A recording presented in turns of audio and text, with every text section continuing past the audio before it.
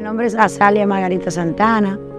Yo perdí mi pierna a causa de un accidente de tránsito.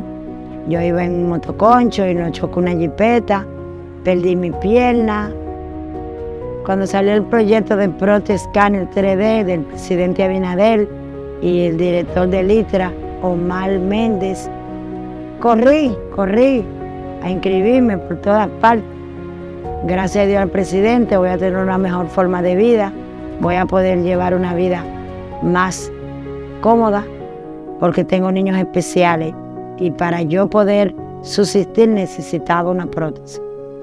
Pero ya gracias a Dios hoy es el día que voy a ser más feliz que antes. Yo con esta voy a brincar paredes. Toda aquella persona que tenga el mismo problema que yo, que no se desanime, que no se desanime, que coja ánimo y busque ayuda, que se inscriba para que pueda conseguir su prótesis sin costo alguno.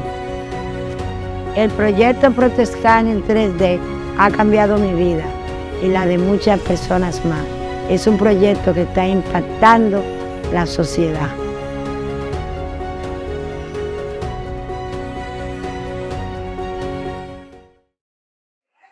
¿Qué día que murió? ¿Qué día que murió?